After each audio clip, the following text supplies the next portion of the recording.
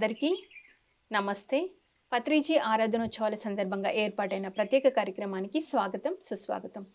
మరి చీకు ముద్దల నుండి పొట్టన్న గారు ఇప్పుడు మనతో పాటు ఉన్నారు. వారి యొక్క ధ్యాన పరిచయాన్ని మనం తెలుసుకుందాం. సార్ నమస్తే. సార్ మీకు ఎలా ధ్యానం పరిచయం అయింది ఏనా పరిచయం అయితే అమ్మ అప్పుడు ఎన్నో గుర్లు దగ్గర తిరిగాము. ఊరి మార్చిదమ్మా ఎన్నో ఎంతో మంది గురువుల దగ్గర తిరిగారు. దగ్గర మార్చి మరి తిరిగాము.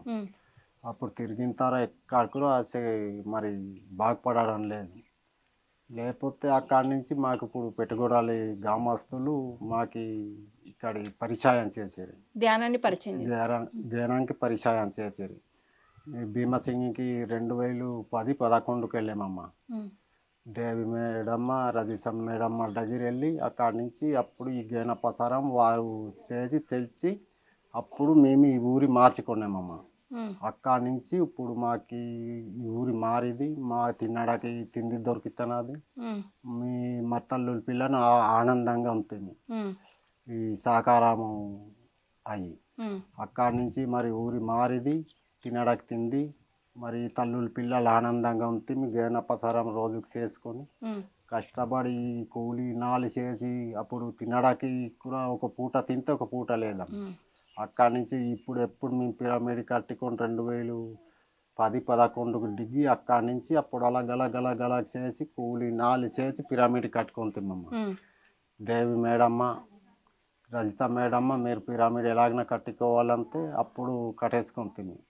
ఇలాగే ఇప్పటికి ఎన్ని ఒక ఐదు ఆరు సంవత్సరాలు మొదలించి ఒక ఆరేడు సంవత్సరాలు అయిందమ్మా.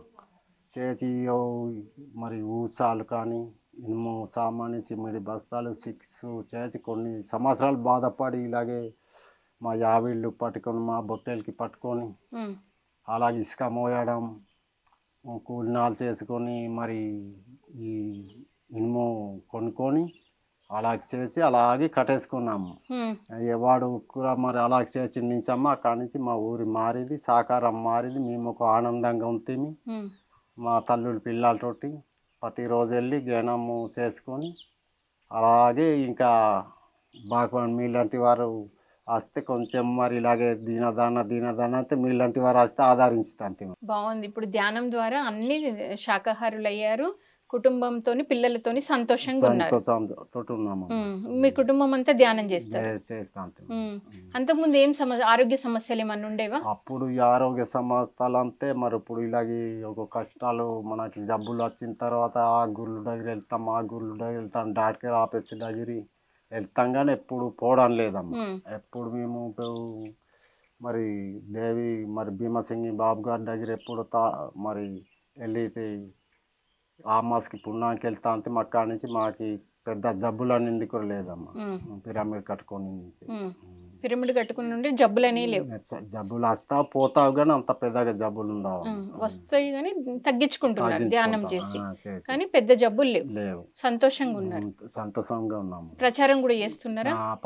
చేస్తే ఈ మన ఏది నుంచి పదకొండు మండలాలు కూడా అలాగే మండల మండలం దేవి మేడమ్మ రజిత మేడమ్మ తోటి అది తోటి వెళ్ళి ఈ పదకొండు మండలాలు కూడా సంవత్సరానికి గే- మరి ప్రసారాలు చేస్తా అంతే చేస్తూ ఉంటారు. ఎన్ని గంటలు ధ్యానం చేస్తారు? మరి ఇలాగే పెద్ద పనులు ఉంటే గంట సేపు రెండు గంటలు గంటన్నర ఇలా చేస్తాం ఉమ్. ధ్యానంలో ఏమైనా అనుభవం వచ్చిందా? ఇప్పుడు అనుభవం వచ్చిందంటే ఇక్కడ మన పత్రిజు సారు చెప్పిండ్లా కానీ మనం రెండు గంటలు మూడు గంటలు చేస్తే పెద్దగా వస్తుందంటారు మరి మేము ఈ రైతులు మరి ఒక గంట సేపు ఉండ చేయడం మళ్ళీ పనులకి వెళ్ళిపోవడం. మళ్ళీ ఏటిని వెళ్ళిండి ఆటకాసి రావడం ఒక గంట చేయడం మళ్ళీ ఇంటికి మరి పడుకుంటా అంతే మనం. ఇంకా మీరు ఏం చెప్పాలనుకుంటున్నారు ధ్యానం గురించి? జ్ఞానం గురించి మళ్ళీ ఇంతే మళ్ళీ ఏం లేదు. ఈ ఊర్లో కూడా మీరు ధ్యానం ద్వారా మరి అన్ని తగ్గించుకోవడము పిరమిడ్ కూడా కట్టుకోవడం ఎంతో సంతోషంగా ఉంది. థ్యాంక్ యూ సో వ్యూవర్స్ మరి చూశారు కదా? ప్రతి ఒక్కరి నోట అదే మాట వింటున్నామండి. మేము ధ్యానం చేస్తున్నాము పిరమిడ్ కట్టుకున్నాము మా సమస్యలను మేమే పరిష్కరించుకుంటున్నామని ఎంతో అద్భుతంగా తెలియజేస్తున్నారు. మరొక మాస్టర్తో మళ్ళీ కలుద్దాం. Thank you. Thank you so much.